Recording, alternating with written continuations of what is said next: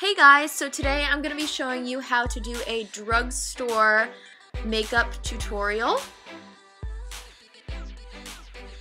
So the first thing I'm going to be using is primer and I'm using NYX Honey Dew Me Up and I'm just going to put it all over my face.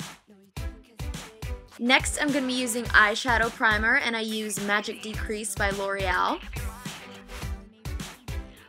For eyeshadow, I'm using a CoverGirl eyeshadow palette and it's in the color Country Woods.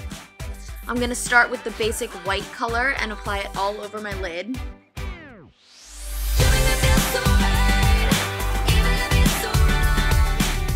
Next, I'm going to use the shimmery neutral brown color and I'm going to put it in my crease.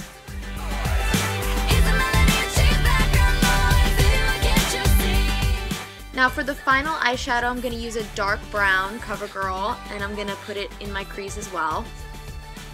Now for foundation, I'm going to be using Maybelline Fit Me in Dewy and Smooth. For concealer, I'm going to be using Fit Me, and I'm going to be using medium to start, and then I'm going to go back over with a lighter color in the same type of foundation.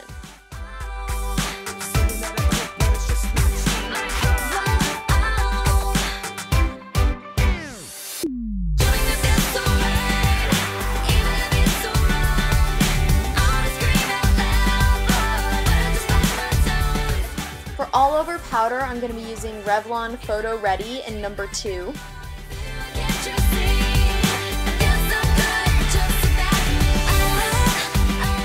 Now I'm going to go back over my powder with Revlon Photo Ready Translucent Powder.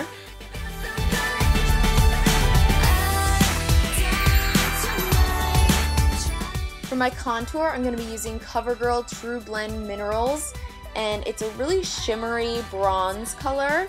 So I'm just going to go along my cheekbones and around my forehead.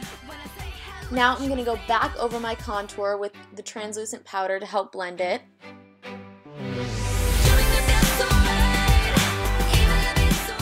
For blush, I'm going to be using NYX Baked Blush in a really pretty pink shimmery color.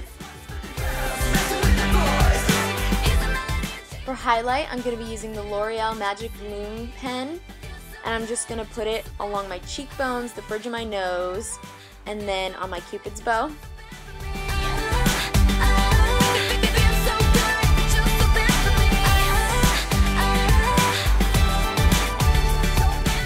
For my brows, I'm going to be using a Maybelline Brow Precise pencil, and I'm using the color Soft Brown.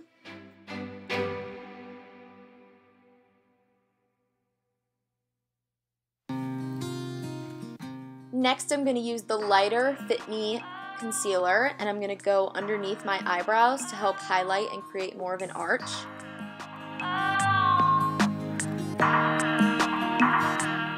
For liquid liner, I'm going to be using Wet n Wild, and this is still my favorite eyeliner. Um, it stays really black, really matte, obsessed with it.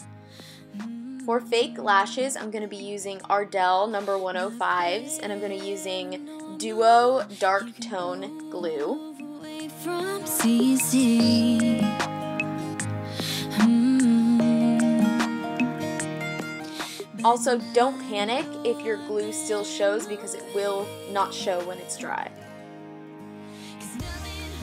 For mascara, I'm going to be using CoverGirl Plumpify Mascara. This helps blend your real lashes with your fake lashes.